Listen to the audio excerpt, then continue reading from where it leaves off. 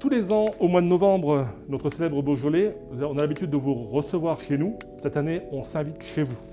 On va commencer donc euh, le pâté donc avec les ingrédients que vous avez reçus aujourd'hui. Euh, vous avez reçu de la pâte feuilletée maison euh, au beurre. Il faudra faire un, un, petit peu attention en travaillant celle-ci parce que comme c'est une pâte au beurre, il va falloir travailler avec le frigo. Et donc ne pas la sortir trop tôt, ne pas travailler dans des conditions trop chaudes au niveau du produit. Voilà, donc merci de, me sortir le, feuilletage. Donc là, on va travailler directement le couvercle avec ce qu'on appelle le feuilletage plein, donc c'est-à-dire le feuilletage qui va lui développer. Et ensuite, avec les chutes, on fera deux choses, on fera le fond et on gardera également quelques éléments pour faire le décor que vous ferez à votre façon. Je vous montrerai un exemple, mais bien sûr, vous le ferez à votre façon à vous. Donc là, le but de, l'égouttage de la, de la viande, c'est simplement pour enlever l'excédent de vin, puisque le restant du vin, il est, euh, dans la marinade. À l'intérieur de la viande, mais il faut quand même en enlever un peu. S'il y a trop de, y a trop de vin, vous allez avoir une viande qui va, euh, mouiller votre pâte et ça va euh, va pas être très joli à la sortie. Donc moi j'ai pris un, un, gabarit, il va falloir faire un rectangle qui va faire environ 25 cm, 25-30 cm à peu près euh, de long sur 7 euh, à 8 cm environ de large. Tu vas pouvoir le mettre hop, au frigo qui reprenne bien, voire même dans la partie haute du congélateur éventuellement.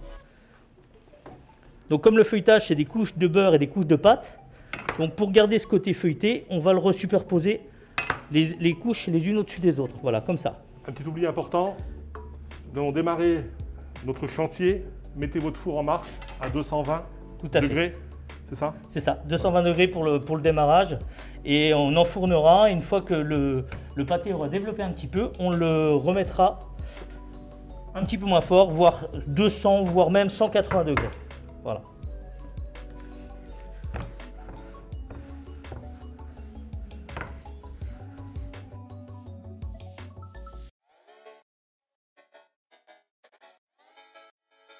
Donc là, on va prendre notre viande qui est, qui goûtée. Alors, on l'égoutte, mais on ne la presse pas spécialement. On va enlever un tout petit peu, euh, juste comme ça avec les doigts, l'excédent de vin. Histoire que ça déborde pas trop. Et on va le placer. Alors après, vous pouvez faire un pâté de 4 comme vous pouvez faire 4 euh, pâtés individuels, euh, voire, voire même un peu plus. C'est généreux. Vous pouvez même faire un pâté de 6 quasiment. C'est généreux. Donc une fois qu'on a fait cette étape-là, on va remonter les bords, ici, des deux côtés. Voilà. Toujours pareil, sans serrer. Ici, on va faire un, comme, un, petit portefeuille en fait. Là, on va placer la pâte l'une au-dessus de l'autre, de chaque côté. Tac, comme ceci. Et on va obtenir donc la forme du pâté lorrain d'origine. Et là, avec le rouleau, on va légèrement écraser la pâte des deux côtés. Voilà. Et donc, vous avez eu aussi dans votre... Euh, là, j'en ai beaucoup, bien évidemment. Mais dans votre petit kit, vous avez eu également euh, un, petit, euh, un petit pot avec de la dorure et un, pinceau qui va vous permettre de faire ça. Et également, surtout, de faire la déco. Donc là, ici, on va prendre avec les deux pouces, comme ça. Et on va vers, au niveau du bord, reposer la pâte sur lui-même, comme ceci. Voilà. la même chose de l'autre côté. Voilà. Tac. On vient repositionner la pâte de chaque côté. Et là, on obtient la base du pâté lorrain. Tac. Ce pâté lorrain là, on va le mettre au frigo. Le temps qu'on prépare la suite, histoire qu'il reprenne un petit peu. Tac, je te laisse le mettre dans le frigo. Ouais. Hop là ceci. Merci. Il n'y a pas de perte, il n'y a, pas de, a pas trop d'excédent. Et avec les petits décors, vous allez vous amuser de faire des décors au choix, enfin avec le restant de pâte. Vous allez faire ce que vous voulez. Là, vous faites travailler les enfants, votre imagination. Ce sera la note finale pour votre concours. C'est ça. On ne pourra pas goûter votre pâté, on pourra voir les photos. Logiquement, si on a bien fait notre travail, ils seront tous pareils en termes de goût. Normalement. Normalement. Mais effectivement, le, la façon de, travailler le feuilletage euh, et, la façon de le fermer, de le dorer, de le cuire, de le rayer, euh, tout ça, ça va être important pour, euh, pour cette note finale puisque ça va, ça va vous permettre d'avoir un pâté qui est joli ou pas. Voilà, donc là on rétale finement le restant de la pâte. On va le remettre au frigo. Hop. Le temps qu'on ferme le pâté, qu'on le raye. Voilà. Et ça, ça nous servira pour faire les décors. Et voilà, monsieur. Donc là, je vais récupérer le, pâté.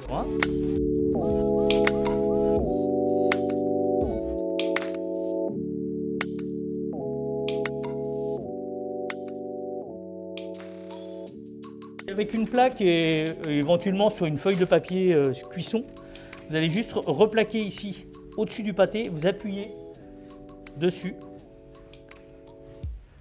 sans trop appuyer bien sûr. C'est juste pour remettre le pâté bien bien droit. Une fois que ça c'est fait, on le, repositionne correctement. C'est pour que ce soit plus simple à dorer en fait et à rayer. Voilà.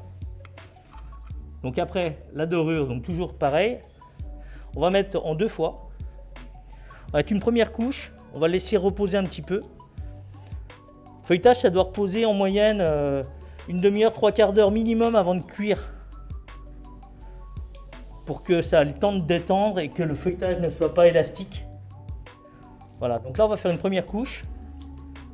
On va le laisser reprendre un petit peu et on va le ressortir pour remettre une deuxième couche ensuite. Voilà, donc on remet la deuxième couche donc de dorure comme, on a fait tout à l'heure.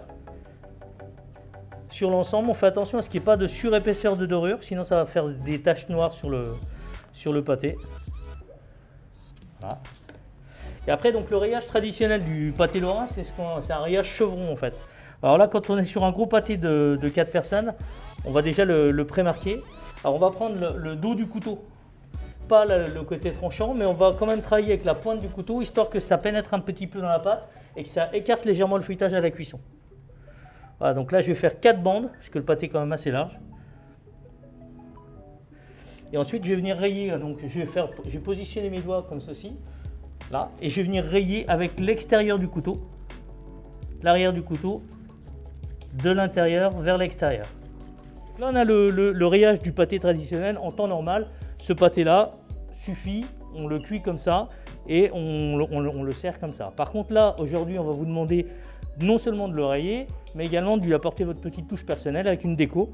Donc là, on va la faire avec les petites chutes de pâte. On va mettre trois petites pointes de couteau comme ça dedans, histoire que la vapeur s'échappe. Et on va donc maintenant faire une petite déco avec les restants de pâte. Voilà, donc avec notre petit bout de pâte qui nous restait tout à l'heure, qu'on a réétalé, on l'a fait reprendre un petit peu au frigo. Voilà, donc là, hop, je vais détailler des feuilles directement. feuilles de houx. Feuilles de houx. Avec un peu plus dans la période de Noël.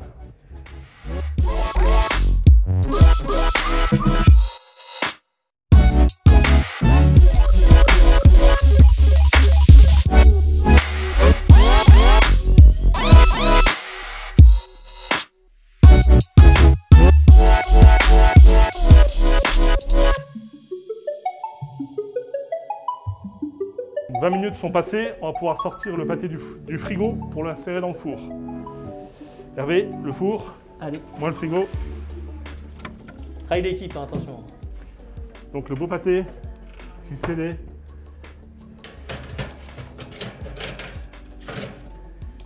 Allez, c'est parti.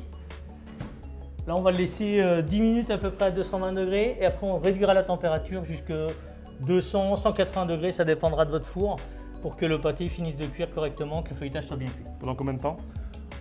Ça dépend du four. Environ 20 minutes, 10 minutes à 220 et environ 20 minutes à peu près. Euh, un peu Pendant ce temps-là, je vous conseille un petit montage Lego pour vous entraîner. Faites une idée pour les futurs gagnants.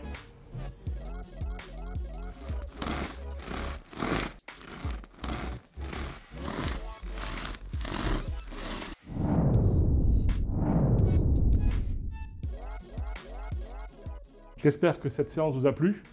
Pas trop longue, assez fun. Amusez-vous, faites-vous plaisir, faites partager vos enfants. Et on espère l'année prochaine, au mois de novembre, pour un vrai Beaujolais JCD.